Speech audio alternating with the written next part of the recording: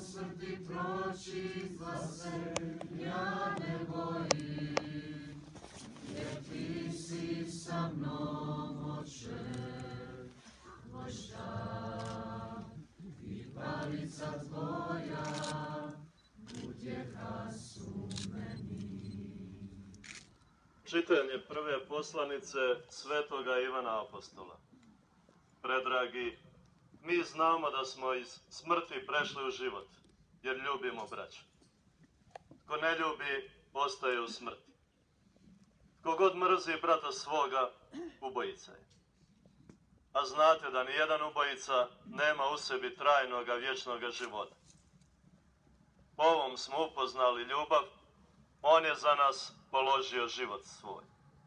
I mi smo dužni živote položiti za braću. Riječ je gospodnja. Skupili smo se danas pred ovo ratno sklonište gdje su jugo komunisti ubili i spalili 12 hercegovačkih franjevaca u drugom svjetskom ratu. Ovo stratište simbolizira i sva druga poznata i nepoznata stratišta na kojima su ubijana naša braća. Kao zajednica vjernika obratimo se Bogu da se više nikada nešto ovako ne ponovi. Oče naš,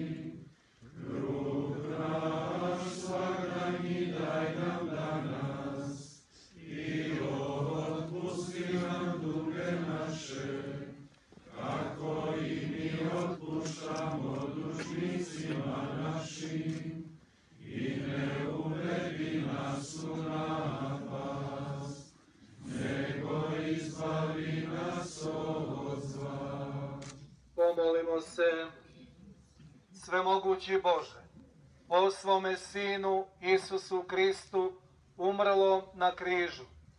Ti si uništio našu smrt, a po njegovu uskrsnuću čudesno si nam vratio život i besmrtnost.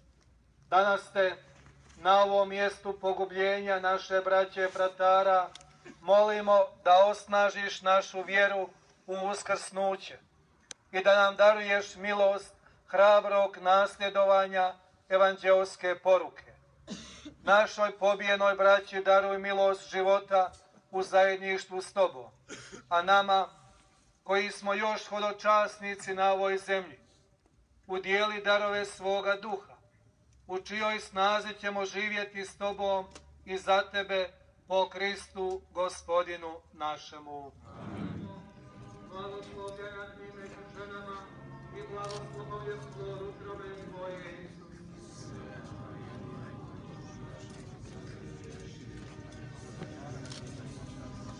Zdravo milosti puna gospodin s Tobom, blagoslovljena ti među ženama i blagoslovljen plod utrobe Tvoje, Isus. Sveta Marijo, Majko Božija, moli za nas grešnike, sada i na času smrti naše. Zdravo Marijo, milosti puna gospodin s Tobom, blagoslovljena ti među ženama i blagoslovljen plod utrobe Tvoje, Isus.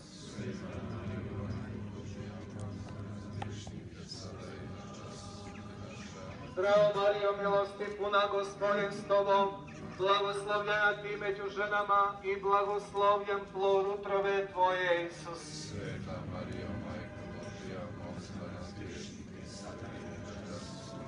Slava Otcu i Sinu i Duhu Svetomu.